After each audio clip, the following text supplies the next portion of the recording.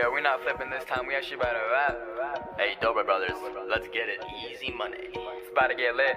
Alright, Lucas, you